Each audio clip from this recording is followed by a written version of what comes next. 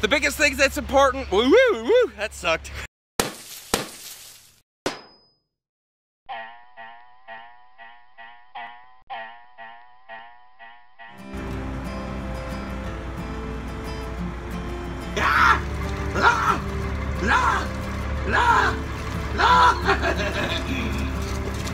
I'm just happy it's raining.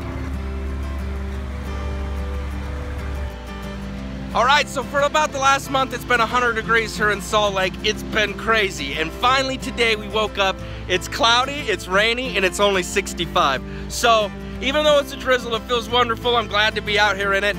And I gotta see this cool raging river over here too. And that got me thinking, you know how I do. Anyway, you gotta use energy. You gotta take what you're given and use it right now. Just like that river. You can't fight the stream. You gotta use its energy and move with it.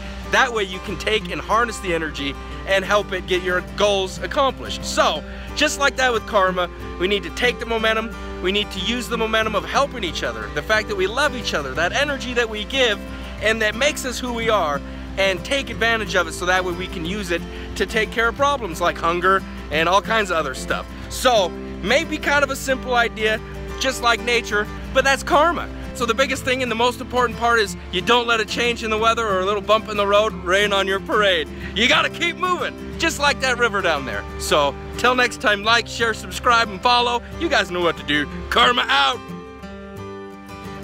See, watch. Here's a lesson. Watch this. It did, oh. There it goes.